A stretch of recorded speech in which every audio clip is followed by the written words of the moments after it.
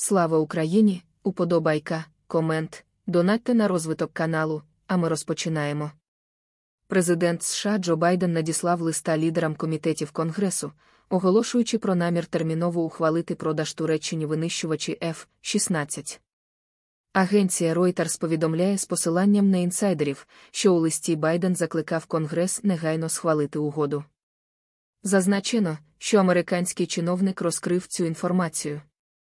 Раніше цього тижня Білий дім вислав листа до членів Конгресу, в якому закликав схвалити угоду з постачання Туреччині винищувачів F-16 та комплектів для їх модернізації на суму 20 мільярдів доларів. Про це повідомили чотири джерела, що мають доступ до тексту листа. Відзначимо, що ратифікація турецьким парламентом заявки Швеції на вступ до НАТО зняло основне перешкодження перед розширенням військового альянсу, яке тривало майже два роки.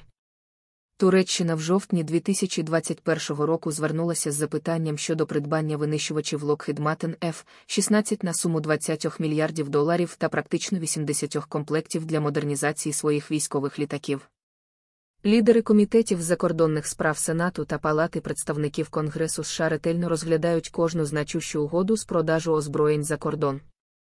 Також варто зазначити, що після російського вторгнення в Україну в лютому 2022 року Швеція та Фінляндія подали заявки на вступ до НАТО.